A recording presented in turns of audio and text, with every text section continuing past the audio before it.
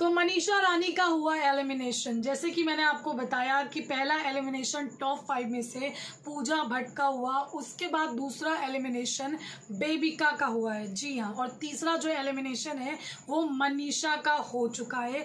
Manisha out हो चुकी हैं। फ़िलहाल ये जो ग्रैंड फिनाले है, काफ़ी बढ़िया रहा है, अभी भी चल रहा है।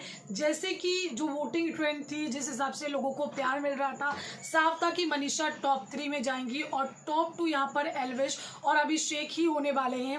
अभिषेक, एलविश में से किसी एक को ट्रॉफी मिलेगी और शायद जल्दी लाइव वोटिंग भी चालू होगी। आपको जा करके उनके लिए वोट करना होगा और फिर कोई एक विनर बनेगा। फ़िलहाल मनीषा टॉप थ्री तक के पहुँची। टॉप थ्री तक की उनकी खूबसूरत सी जर्नी थी। उसके बाद उनका एलिमिनेशन हुआ और अच्छी बात ये लगी कि सलमान खान ने आज बहुत ही प्यार से उनसे बात करी। जिस तारीफ़ के लिए वो हर वीकेंड के बारे में चाह रही थी कि एक तारीफ़ मिले, एक तारीफ़ मिले। तो चलो ग्रैंड फिनाले में मनीषा रानी को तारीफ़ भी मिल गई। तो क्या कहना चाहेंगे? कमेंट में ज़रूर बताएँ। Thank you